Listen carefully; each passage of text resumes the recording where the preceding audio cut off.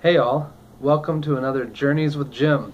My name's Jim Oberlander, and today we're going to be talking about an often confusing concept uh, when it's being taught the first couple of times. So I want to hopefully break down this topic of electrolyte concentration in the body uh, so that it's understandable. We're going to be using some Hawaiian punch and some water to uh, simulate the electrolyte itself and then the volume of water or blood that it's being diluted in. Uh, the, and that's that's the key misunderstanding is a lot of students think that when we give you a lab value of potassium 3.9, okay, that's normal, but they think that it's just a, a straight amount of potassium or sodium or calcium or whatever. And it's not. It's how much of this is being diluted by a certain amount of water. So those are the two impacts. So in order to have a high concentration of an electrolyte, you either have the same volume being compared.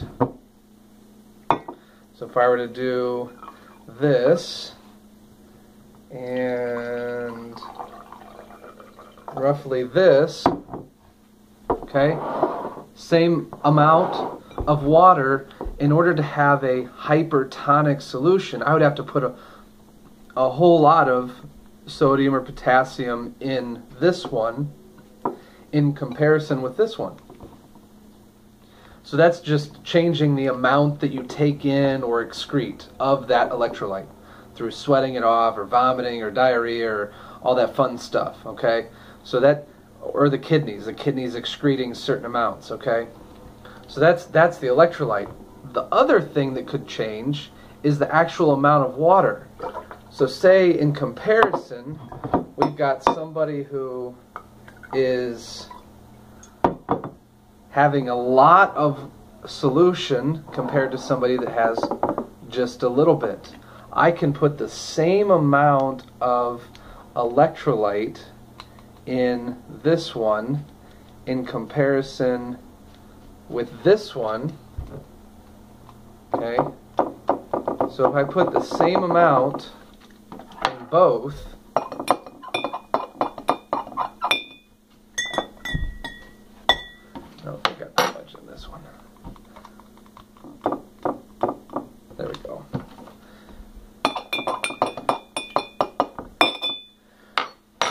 So if I put the same amount of so- solute, the the electrolyte, in each glass, the difference isn't the amount of solute; it's the amount of water. And you can see that one is much darker or much more concentrated than the other.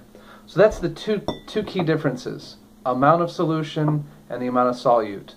You change either one and or both, and you're going to have a change in concentration.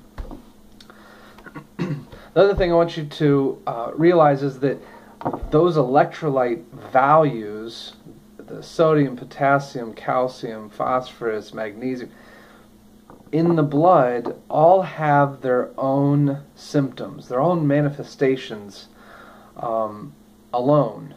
So if you have too little calcium in the blood, you're hypocalcemic far, as far as concentration goes.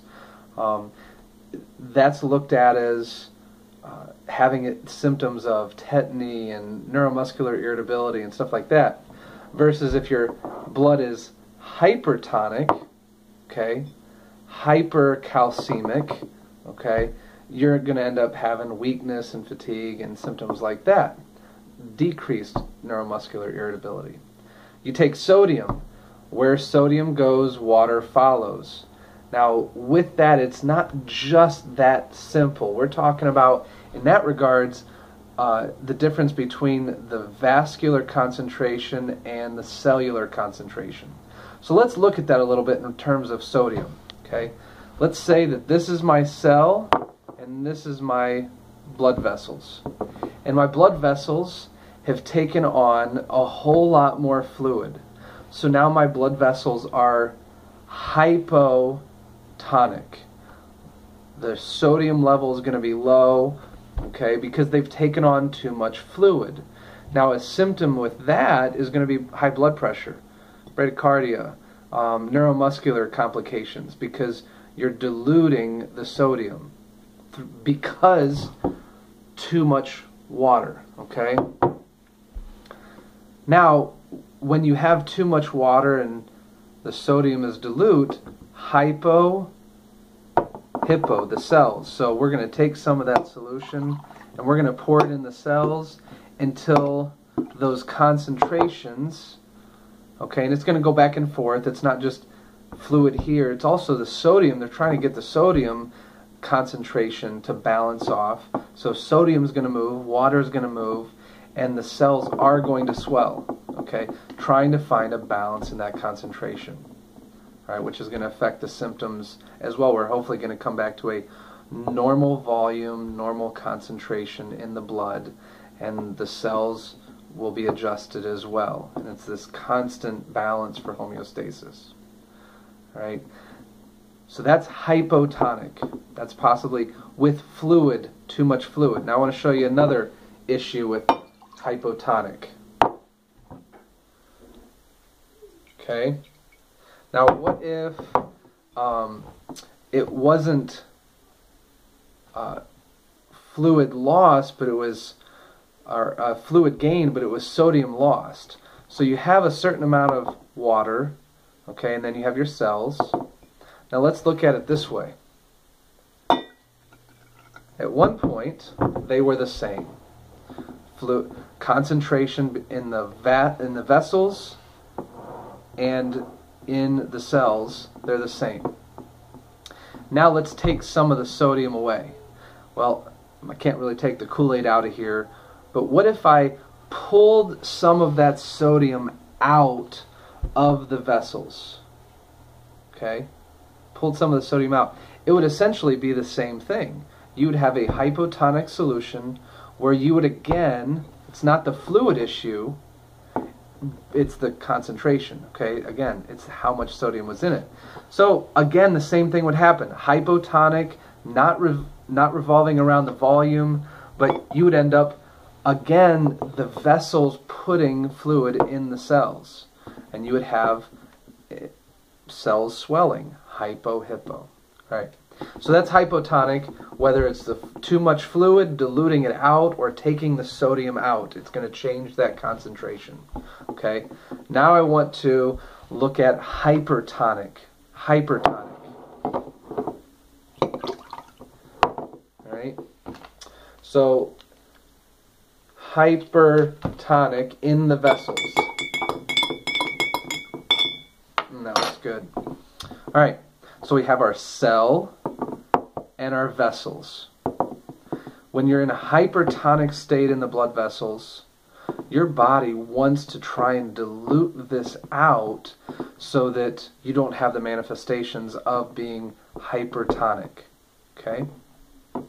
So the cells are going to shrink. They're going to try and balance. A whole bunch of cells are going to try and pour in here.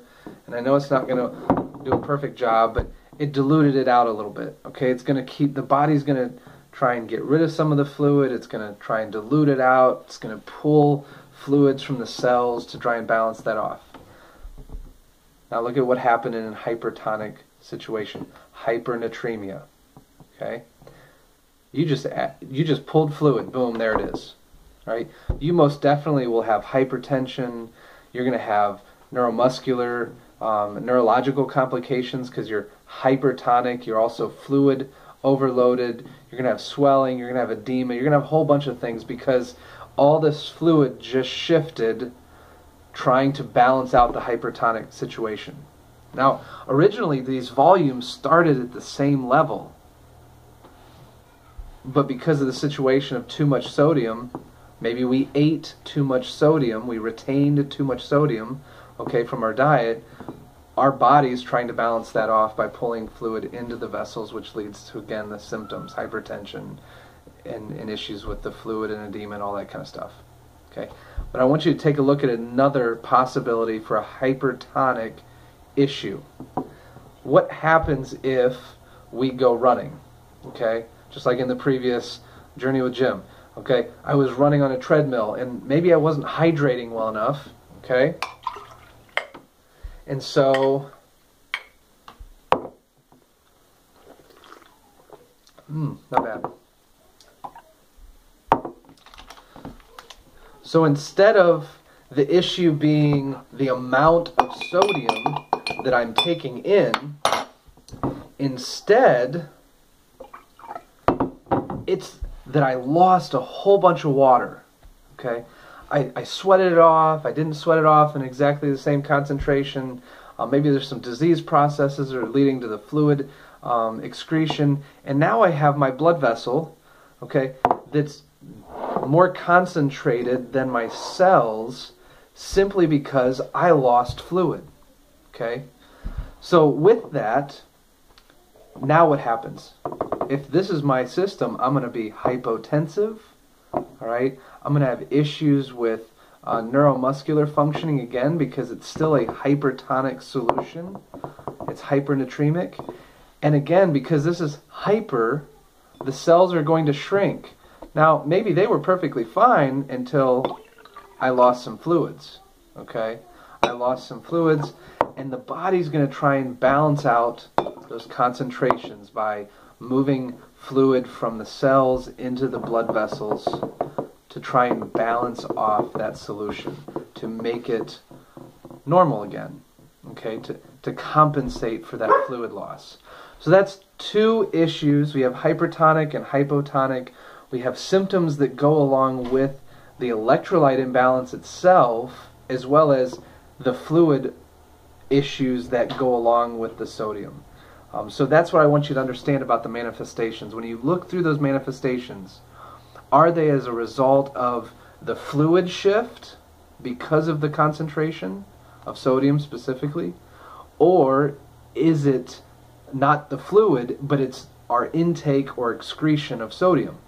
All right, so maybe it's a fluid movement, maybe it's a sodium issue, potassium issue, fluid issue. Okay, so as you're thinking about concentrations, as you're thinking about these electrolytes, as you're thinking about the manifestations, make sure you understand the difference of the symptoms, the manifestations, as a result of too much or too little, or too much or too little. I hope that helps clarify it a little bit, especially as you go and you look into your text, you look into your books a little bit more, that maybe the manifestations will jump out a little bit more as a result of either the fluid or the electrolyte responses. Have a great day, and I hope you'll join me on another Journeys with Jim. Adios.